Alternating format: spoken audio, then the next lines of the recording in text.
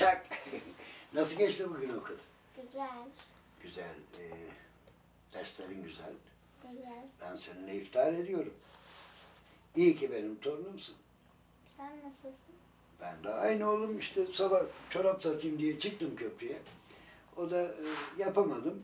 Ama çok şükür aç değiliz, açıkta değiliz, evimiz var. Binlerce şükür. Tamam sen hiçbir şeye sıkılma. Tamam mı güzel çocuğum? Sıkılmıyor. Tamam. e, dişlerin nasıl oldu bakayım bir. Gördü mü doktor? Gördü. Tamam ne dedi? Ya tel takılacakmış. Tel takılacakmış. Ama daha var.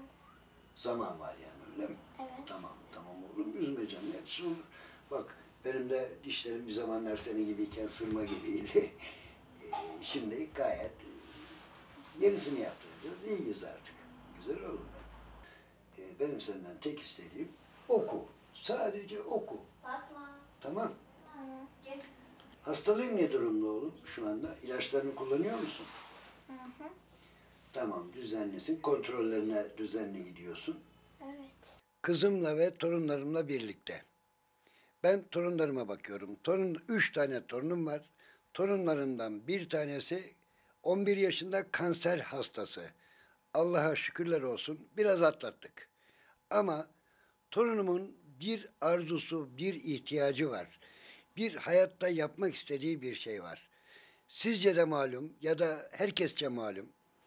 Kanser hastasının en büyük ilacı moraldir bütün yetkililere sesleniyorum. Benim torunumun tek isteği, tek arzusu Arka Sokaklar dizisini tanımak, onlarla bir gün dahi olsa içli dışlı olmak, haşır neşir olmak. 11 yaşındayım. Ortaokula gidiyorum. 5. sınıftayım. Ee,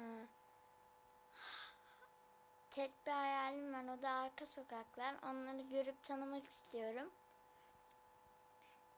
En sevdiklerim Şevket Çoruh, Rız- Rıza Baba. Hatta hepsini görmek istiyorum. Küçüklükten beri hayalim bu. Ben kontrollere gidiyorum. Konya, Konya'da tedavi görmüştüm. Evet ben de buradan Rıza Baba'ya sesleniyorum.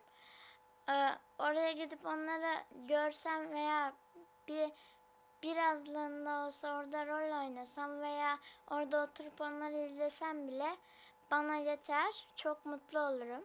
En büyük moralde bu, bu olur benim için yani.